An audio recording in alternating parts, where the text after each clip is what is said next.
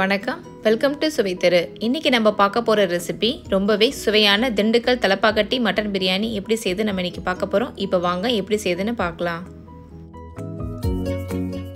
Mixie ஜாரில் பத்து பல்லு பூண்டு ஒரு இன்ச் அளவு இஞ்சி நல்லா ஃபஸ்ட்டு அரைச்சிக்கலாம். இப்போ இது கூடவே இருபது சின்ன வெங்காயம் சேர்த்து நல்லா அரைச்சிக்கலாம்.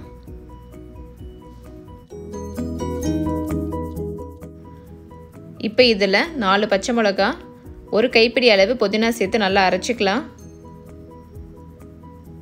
இந்த மாதிரி நல்லா அரைச்சி எடுத்துக்கணும்.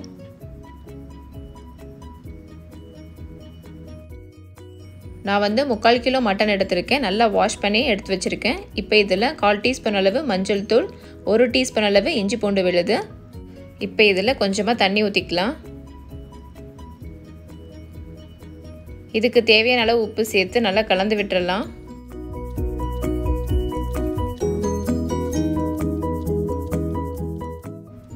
மீடியம் ஃப்ளேம்லேயே மூணு விசில் வர வரைக்கும் நல்லா வேக வச்சு எடுத்துக்கலாம். இப்போ மட்டன் நல்லா வெந்துருச்சு. இப்போ தனியாக எடுத்து வச்சிடலாம். இப்போ பேனை ஹீட் பண்ணிவிட்டு மூணு கப் அளவு சீரக சம்பா அரிசி சேர்த்துக்கிறேன். இதை வந்து ஒரு ரெண்டு நிமிஷம் நல்லா வறுத்துக்கலாம். இதை வந்து ஹை ஹீட்டில் வச்சு வறுத்துறாதீங்க. மீடியம் ஹீட்டில் வச்சு வறுக்கணும். ரெண்டு நிமிஷத்தில் சீக்கிரம் வதங்கிடும். நான் ஏற்கனவே சொன்ன மாதிரி நம்ம வறுத்து சேர்க்கறதுனால நம்மளோட பிரியாணி குழையாமல் நல்லா உதிரி உதிரியாக வரத்துக்காக தான் இப்படி பண்ணுறோம் நான் வந்து மூணு கப் அளவு அரிசி எடுத்திருக்கேன். அது வந்து முக்கால் கிலோங்க. நம்ம எவ்வளவு கறி எடுக்கிறோமோ அதே அளவு அரிசி சேர்த்தோம்னா பிரியாணி வந்து நல்ல டேஸ்ட்டாக இருக்கும். இப்போ அரிசி நல்லா வறுப்பட்டுருச்சு இப்போ இது ஒரு பவுலில் எடுத்து வச்சிடலாம். நம்ம அரிசியை வந்து ஊற வைக்க தேவையில்லை. வறுத்ததுனால நம்ம அரிசி பிரியாணிக்கு போடுறதுக்கு முன்னாடி கழுவிட்டு போட்டாலே போதும். இப்போ பேனை ஹீட் பண்ணிவிட்டு நான் கொஞ்சமாக ஆயில் சேர்த்துக்கிறேன். ஆயில் நல்லா ஹீட் ஆனதும் ரெண்டு பேலீப் சேர்த்துக்கிறேன். ஒரு சின்ன பீஸ் பட்டை மூணு ஏலக்காய் ஒரு அன்னாசிப்பூ கொஞ்சமாக கல்பாசி ஒரு டீஸ்பூன் அளவு சோம்பு சேர்த்து நல்லா தாளிச்சிடலாம்.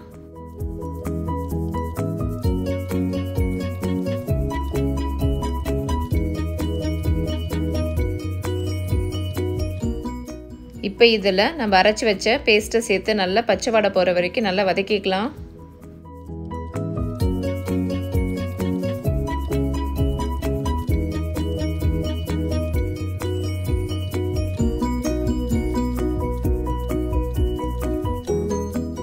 இப்போ நல்லா பச்சை வாடையெல்லாம் போய் நல்லா வதங்கிடுச்சு. இப்போ இந்த ஸ்டேஜில் நம்ம வந்து பிரியாணி பவுடரை சேர்க்க போகிறோம் நான் ஏற்கனவே குஸ்காவில் உங்களுக்கு செஞ்சு காட்டியிருக்கேன்.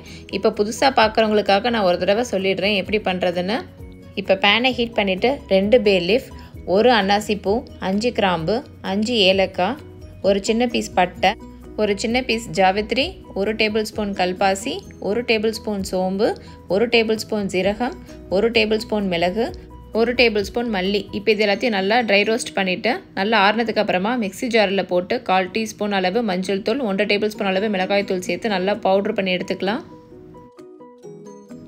இப்போ இதில் ரெண்டு டேபிள் ஸ்பூன் அளவு பிரியாணி பவுட்ரு சேர்த்துக்கிறேன். இது கூட தேவையான அளவு உப்பு. இப்போ இதை நல்லா கலந்து விட்டுருங்க. நம்ம ஏற்கனவே பிரியாணி பவுடரில் மிளகாய் தூள் சேர்த்துருக்கோம். உங்களுக்கு தேவைப்பட்டால் சேர்த்துக்கோங்க. நான் வந்து ஒரு டீஸ்பூன் அளவு சேர்த்துக்கிறேன். இப்போ இது நல்லா கலந்து விட்டுட்டு பச்சை வடை போகிற வரைக்கும் நல்லா வதக்கிக்கலாம்.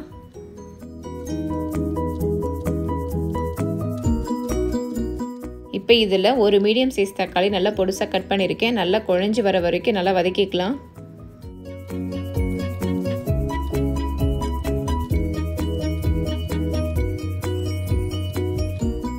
இப்போ தக்காளி நல்லா வதங்கிடுச்சு. இப்போ இதில் அரைக்கப் அளவு தயிர் சேர்த்துக்கிறோம். எட்டு டேபிள் ஸ்பூன் அளவு எடுத்திங்கன்னா உங்களுக்கு அரை கப் கரெக்டாக வரும். இப்போ இதை நல்லா கலந்து விட்டுறலாம்.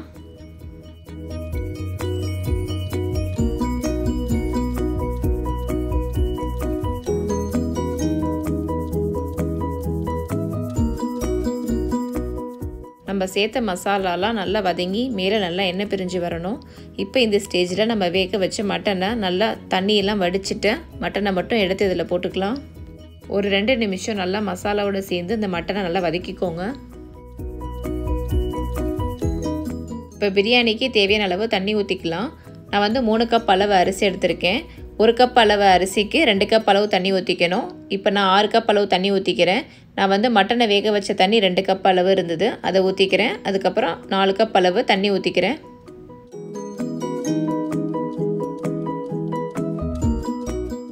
இப்போ இந்த பிரியாணிக்கு தேவையான அளவு உப்பு சேர்த்துக்கிறேன். ஒரு நூல் தூக்கலாக இருந்தால் தான் அரிசி வெந்து வரும்போது கரெக்டாக இருக்கும்.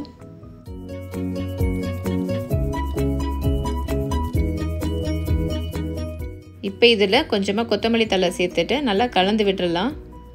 இப்போ இதை நல்லா கொதிக்க விட்டுடலாம்.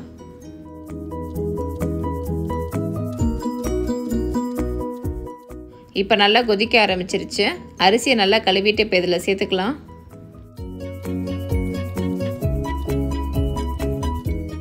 இப்போ நல்லா இதை கலந்து விட்டுறலாம்.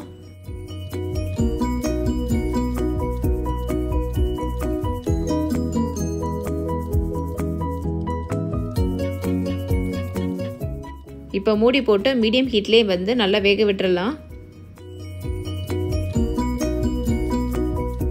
இப்போ இடையில ஒரு தடவை நல்லா கலந்து விட்டுறலாம்.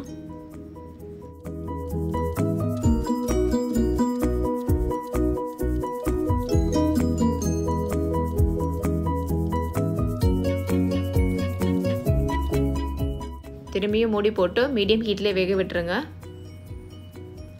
இப்போ எடுத்து பார்க்கலாம் இப்போ ஒரு தடவை நல்லா கலந்து விட்டுறலாம். இப்போ வந்து பார்த்திங்கன்னா முக்கால் வாசி நல்லா வெந்துருச்சு. இப்போ இதில் ரெண்டு டீஸ்பூன் அளவு நெய் சேர்த்துக்கிறேன். இப்போ இதை நல்லா கலந்து விட்டுடலாம்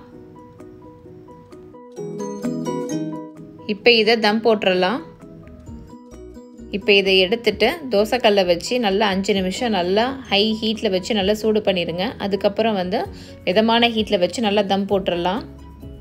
இப்போ வந்து இது மேலே நான் வச்சு ஒரு டைட்டான மூடியை போட்டு நல்லா மூடி விட்டுடலாம். இருபது நிமிஷம் நல்லா தம் போட்டுக்கலாம். நல்லா தம் ஆகிட்டுருக்கு இப்போது இப்போ இருபது நிமிஷம் ஆகிடுச்சு ஓப்பன் பண்ணிடலாம்.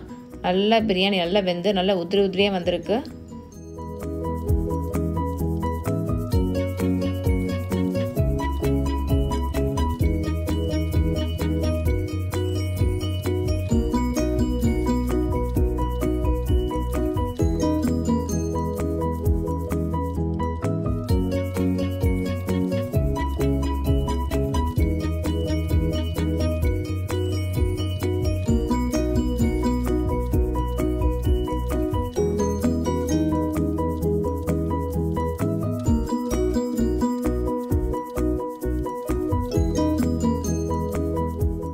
அவ்வளோதாங்க. ரொம்பவே சுவையான திண்டுக்கல் தலப்பாக்கட்டி மட்டன் பிரியாணி இப்போ சூப்பராக ரெடி ஆகிடுச்சு இதே மாதிரி நீங்களும் உங்கள் வீட்டில் செஞ்சு ட்ரை பண்ணி பாருங்கள் இந்த வீடியோ பிடிச்சதுன்னா லைக் பண்ணுங்கள் ஷேர் பண்ணுங்கள் சப்ஸ்கிரைப் பண்ணுங்கள் மீண்டும் மேலும் உங்களை சந்திக்கிறேன்.